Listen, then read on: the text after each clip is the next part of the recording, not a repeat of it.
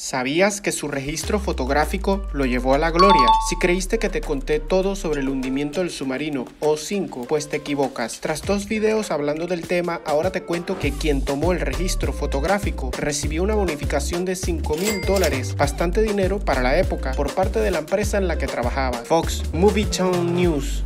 Su nombre, R.G. Lewis. Tras los sucesos, buscó residencia y se jubiló en Panamá. Sus fotografías fueron el mejor tema de la semana al momento de su publicación. Su extraordinaria película documentó toda la secuencia pictórica de la operación de rescate y salvamento del O5. Para aquel entonces, Movie Town News hacía newsreels, que eran unas películas sin sonido primeramente y serían los primeros noticieros en incorporar luego el sonido, además de incorporar el color. Filmado en películas de 35 milímetros, hay un registro amplio de eventos únicos a nivel mundial, siendo el hundimiento del submarino O5 uno de ellos. Tenían agencias en muchos países como Estados Unidos, Gran Bretaña, Australia y hasta en India. En Estados Unidos formaba parte de la extensa cadena de Fox, evolucionando con el pasar del tiempo. El registro de estos sucesos son una muestra más de la importancia del canal de Panamá para el mundo entero. Sígueme para más datos y no olvides suscribirte a mi canal de YouTube.